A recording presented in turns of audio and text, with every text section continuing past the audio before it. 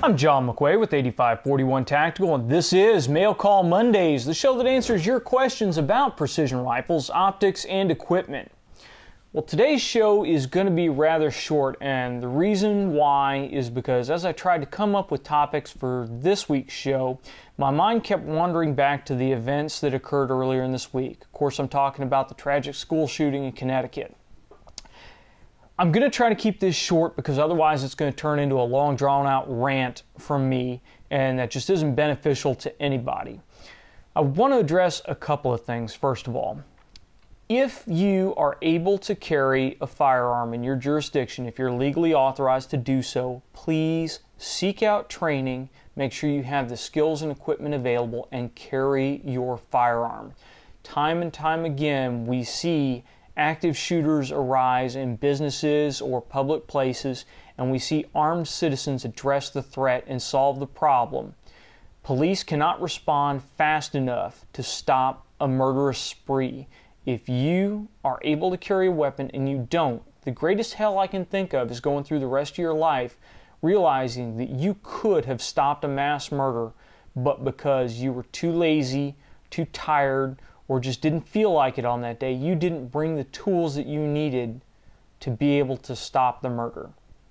So, if you're able to do so, seek out the training, carry the tools, and be able to stop a threat if it shows up.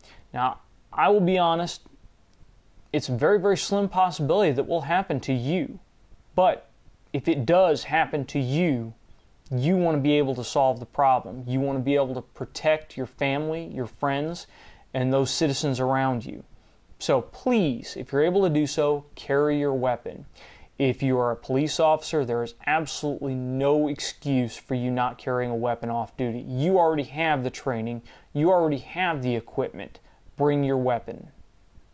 Now, when we look at school shootings, we have a distinct problem here because in most jurisdictions, armed citizens are not allowed on school premises. It's restric- restricted to police officers only. This, of course, causes us a serious problem because a murderous nut job does not care what the laws are. He doesn't care that it's a gun free zone. In fact, if they're thinking clearly, as clear as you can, being a psychopath, they're going to realize that a gun free zone is an extremely soft target and is going to offer minimal resistance if they're armed. So, what do we do about that? I would really like to see a program instituted like pilots got after 9 11, where selected teachers could volunteer and seek out training and be authorized to carry a concealed weapon on the premises. That would be absolutely great in my mind.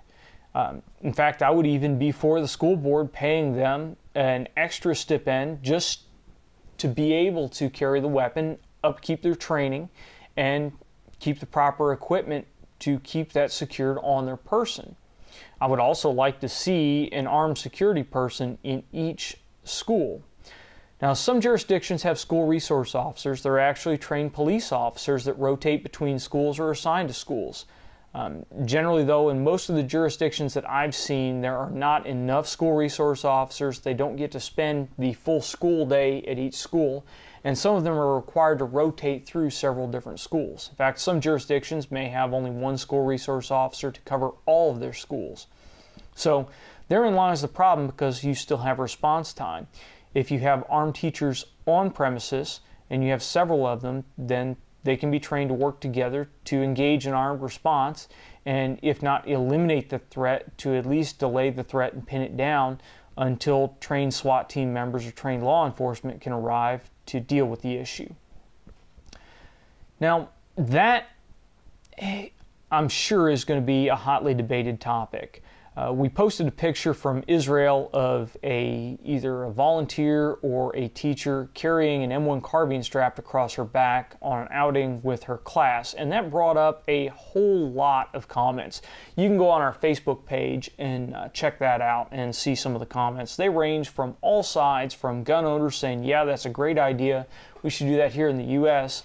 to teachers and anti-gunners saying, "No, we don't want guns in schools."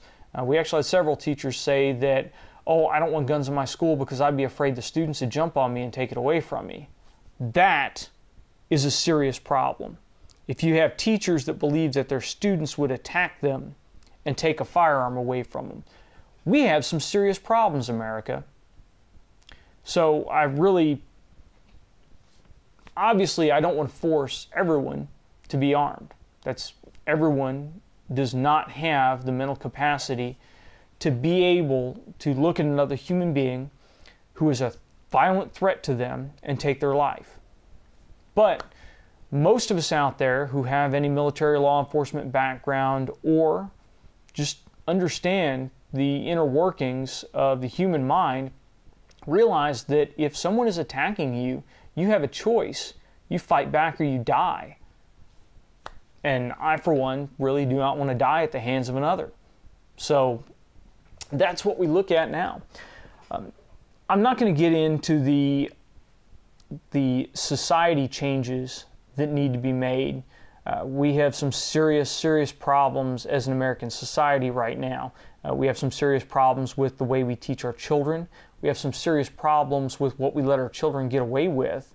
And we have even greater problems when they grow into adults and think they can get away with the same things. So I'm not going to delve into what kind of changes we need to make as parents. In fact, I'm pretty sure that most of you that are watching this actually have a pretty good handle on your kids at home. Um, the demographic that I'm talking to is not the demographic that really is the problem, I think. Now, I really don't have all the answers. I would like to see someone at each school able to provide an armed response, but I want trained people at schools to be able to provide an armed response. I don't want untrained people running around schools with firearms. Um, we see accidents in gun stores, we see accidents on range, and whether it's negligence or just ignorance, um, that's not something I want occurring inside a school filled with children. So training is absolutely, absolutely paramount.